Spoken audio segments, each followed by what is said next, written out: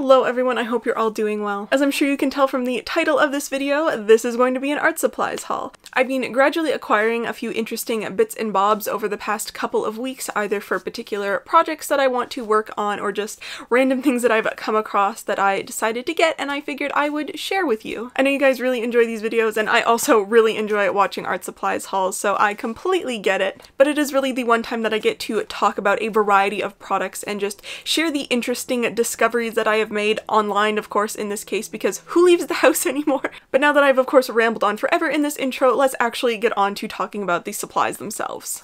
Let's actually start with art books, because when I do a haul and have art books included in it, I tend to leave those for last, so let's switch things up a bit. The first book that I have is actually the one I think that I've had the longest, and it is The Art of Raya and the Last Dragon. Now this is of course the art book for the latest animated Disney film, and I knew like 20 minutes into the movie that I was absolutely going to have to add this book into my collection. The art style and concept for this movie is very much up my artistic alley. I love the concept of the different regions, it's very Last Airbender-like, and of course there's dragons. Who doesn't love dragons? It is a beautifully laid out book that gives you a great look at a ton of detail that went into everything. There's literally like the fabric patterning that they created for the different regions. So if you like the movie, then I would highly recommend the art book. Somewhat along the lines of that one in the sense that it is an art book for a piece of media is The Art of Ghost of Tsushima. This is of course an art book all about the video game, which is one of my new favorite games. It's absolutely gorgeous to play through and look at. Like, gorgeous to the point that even if you have never played the game once, I think you would enjoy looking through this art book. So if you don't know, the game is like a historical samurai type of game, and this art book is very thematic in the entire concept, which is really cool. The book itself has this outer hard casing, but then the book itself has this really cool spine that is like a stitch that looks like just perfect for the entire concept of this game and art book. And then of course the art inside is absolutely gorgeous. There is tons of landscape paintings of the different landscapes in the game, which are absolutely beautiful. It has all of the different armor that the warriors have, all of the different sword configurations and details that you can play with. They even have wood block like prints in here of the different locations. It's just so my thing. Yeah, look, beautiful brush illustrations of the different graphics used in the game. This, this entire concept of this game just really appeals to my artistic interests, and of course this art book was not going to disappoint. So again, it's one of those things, if you really like the piece of media, then I would highly recommend the art book, or even if you're into historical Japanese artwork and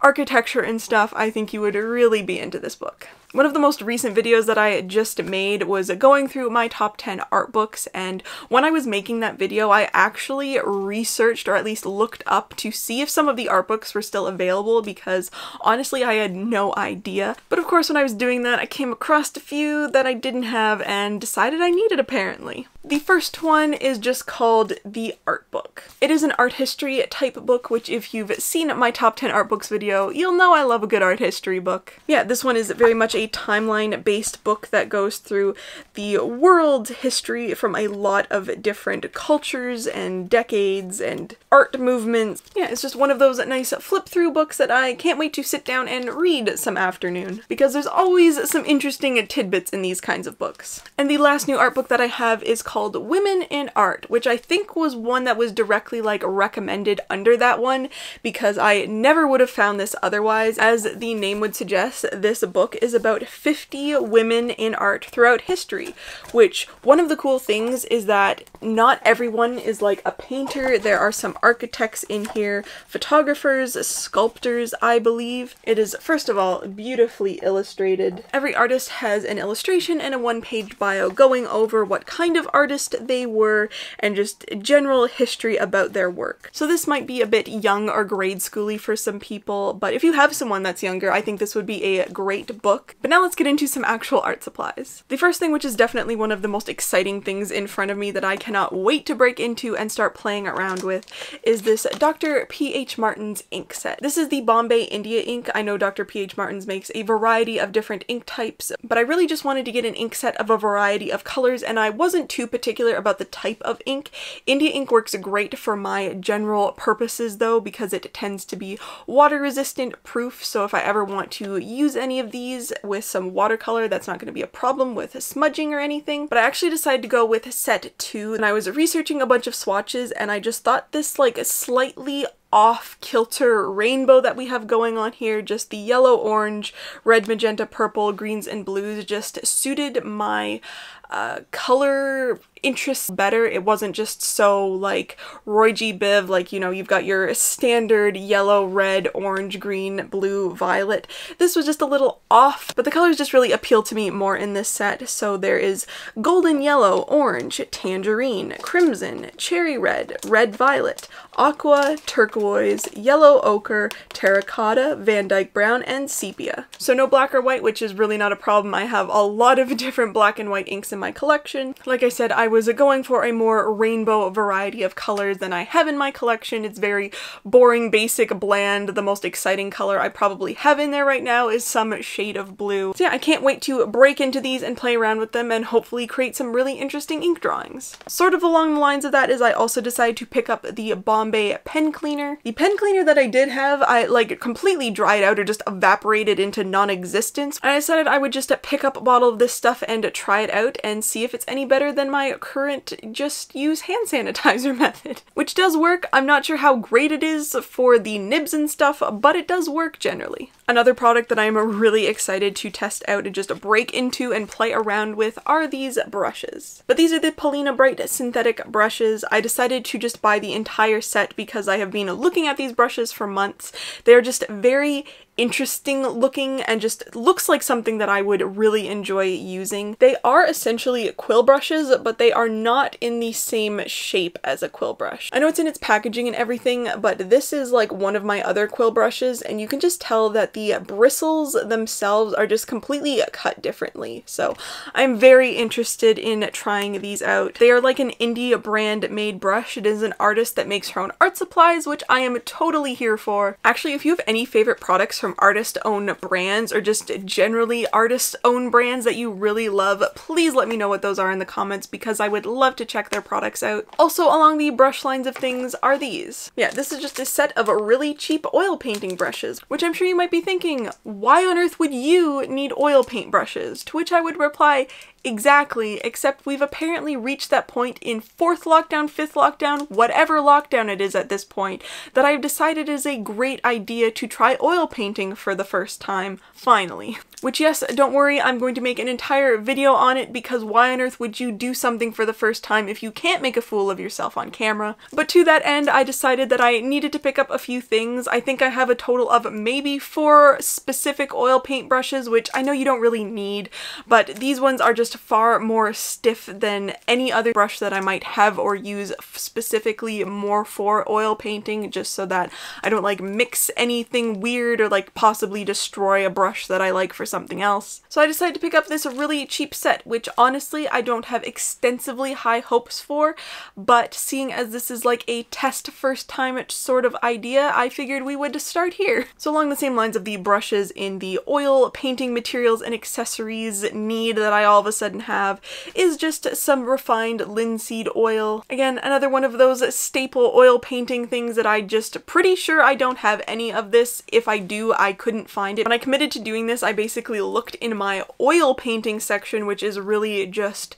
the paints that I've had for too many years than we're going to talk about at this point, and a few brushes, and I think that was basically it. I do have Turpenoid, whether I bought that specifically to oil paint when I bought the paints uh, or just generally as a multi-purpose studio thing have that although I did also order some other stuff which hasn't come yet and I just couldn't be bothered to wait for it to film this video and linseed oil is just one of those basic necessities that you need and if I have any I have no clue where it is so I picked up a bottle of that. Since we're on the topic of my oil painting material purchase I guess I will just talk about the other things that aren't here yet. I decided to buy some Gamsol. Like I said, I know I have the Turpenoid, but I use that for a bunch of other things, and I figured I would just pick up some Gamsol to try out as well. That is sort of the alternative that you use instead of water with oil painting. And I also decided to pick up some canvas pads in a particular type from my extensively low-key research that I did just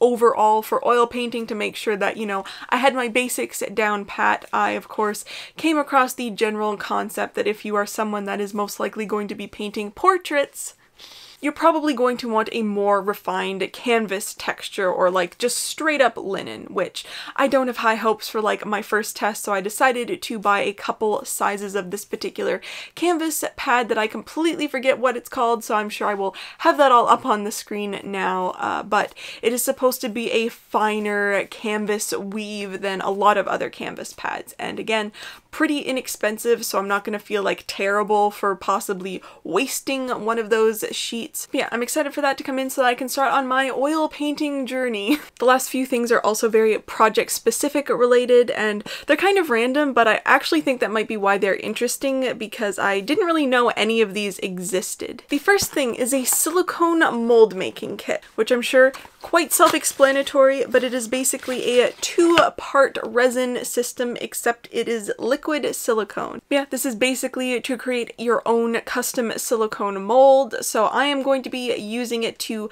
prototype some products, test it out, possibly use it for product manufacturing in the future. Yeah, I'm really excited to play around with that and hopefully have it turn out well something that is resin and product manufacturing related and this is technically not even an art supply at all but I've already used these and I am obsessed with them so I just had to slip them in here to mention them because they are so useful and amazing. It is these. Now I know this is a pack of a lot of not interesting but this is a pack of silicone glass bands and also these little tip things uh, for like I mentioned, your glasses. Now what I use these for and why I decided to buy them is because when I am resining palette lids or just using resin or doing pour painting of any kind, of course your hands are covered in gloves generally and are absolutely filthy. And of course I am aware of the spectacles and these spectacles like to start slipping down my face or just generally moving around on my face and I want to, you know, naturally poke them back up on my face to where I like them being and my hands are filthy so I actually have resin unfortunately like permanently on one of the upper corners of these glasses from some time that I just wasn't quite as careful as I thought I was being with my resiny hands and so I decided to finally pick up some of these. So I did originally try out using the straps themselves which made me feel a little too much like I was wearing old aviation goggles so I decided to flip to trying out the tips and these work absolutely amazingly. Yeah, these uh, clearly do not look like much, but what you just do to these, which of course I really, I am so blind, I can't even see if, if this isn't in focus, I'm just gonna do it again. But what these do is you just put the ends of them, there's like little holes. You just put it around the arm of the glasses and you can move it around and make it looser or tighter depending on what you need.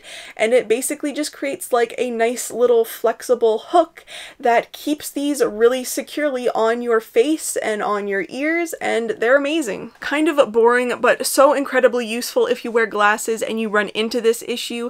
I'm probably going to have these tips various places around my work workstations. I have them like literally sitting on my wall in front of where I'm constantly working. So anytime I'm doing resin or pour painting and want to slip these on, I can. Kind of off topic and a little unexciting, but I think if you wear glasses and have run into this issue before, you will absolutely love those and your life will be changed forever. And the last thing is this. Yes, wow, so exciting, a bag of white powder. But wait, I'm gonna grab my UV flashlight and not look at it for safety reasons and just shine it on this thing for not too long, probably considering just how bright this flashlight is.